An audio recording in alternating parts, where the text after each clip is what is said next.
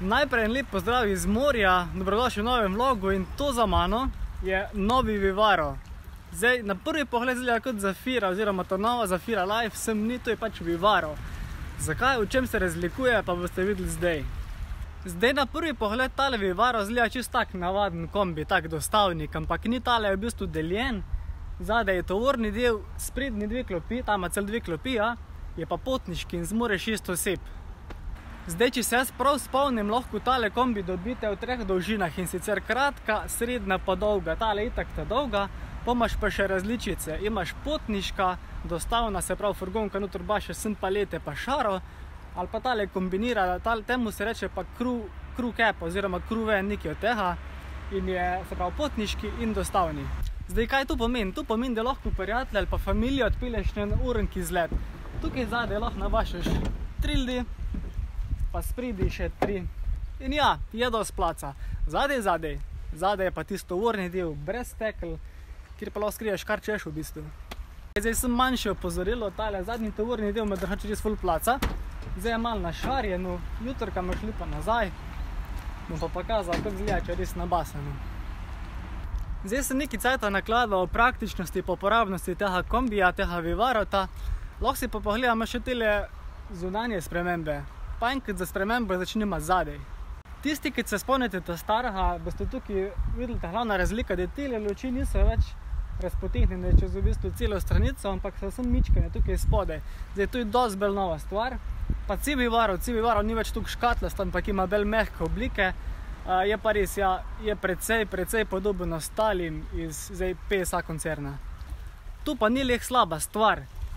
Res, zdaj zgleda dosti bolj mladosten, tukaj ima take bolj mehke linije luči, pa tele kromirane letvice oziroma tele kromirane črtice mu kar dobro pašejo.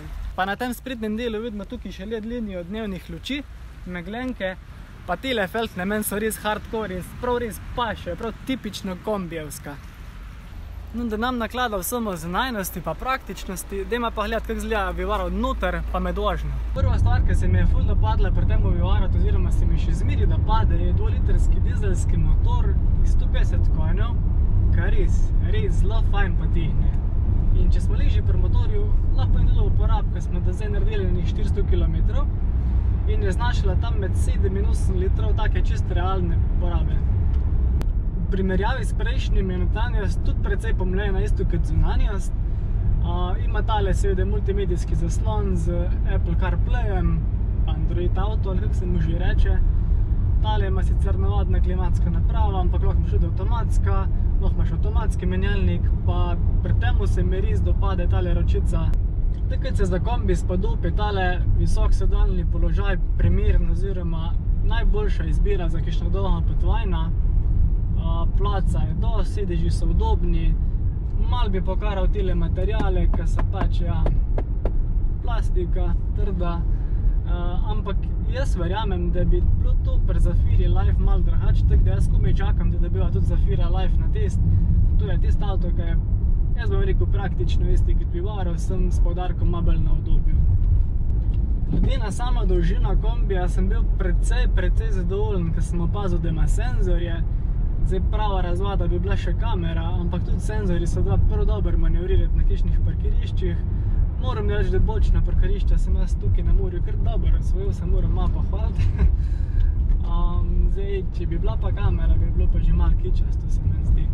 Pri tej različici je res dobro, kaj je taka kombinacija družinskega, poslovnega in tovornega kombija. Se pravi, imaš za, za šest oseb, pa zadaj imaš še dosti placa za palete ali pa kakšna druga ruba, ne vem, če ima kakšna firma dosti škatl za prepelet. Uh, imaš pa tudi še polhen drugih opcij, ki jih lahko zbereš pri tem Vivarotu, pri tovornem, pri potniškem, v bistvu kar češ. Uh, spode tale tovorni del ima tudi neko da kakšne daljše predmete noter, se pravi tisto tovorni, kakšne 4 metrske palce ali pa kaj taha, če tovoriš.